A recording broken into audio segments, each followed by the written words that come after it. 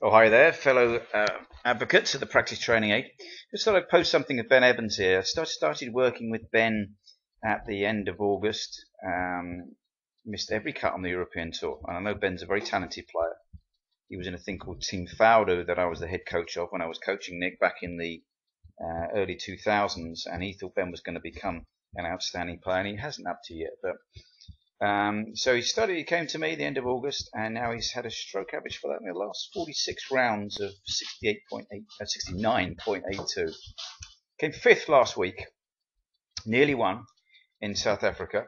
Um, so making fantastic progress. Uh, we started using the Prak-tis training aid. You can see on the left here. So uh, the thing that um, it's so good that he can post send to me film of his swing every day and uh, I know exactly where he is with the training aid. So his distance from the ball and his ball position, everything doesn't change.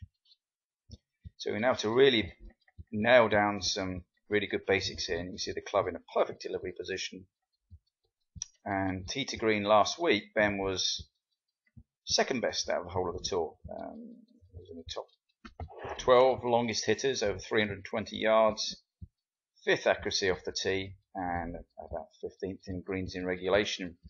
Putting has improved a lot. That was a bit of an Achilles heel of his.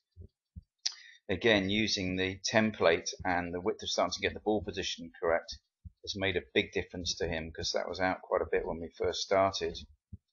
Again, some of the real checkpoints that we're looking for of having the hands a little bit ahead and coming back to that position at impact and with the head, he used to move a long way back.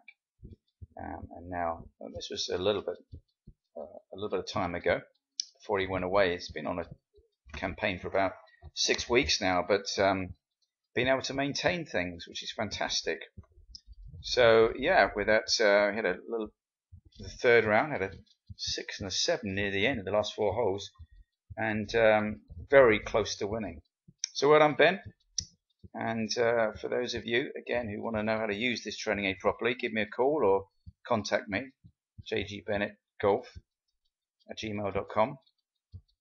And uh, might come and have a lesson, and I'll show you how to use your training properly and improve. Bye for now.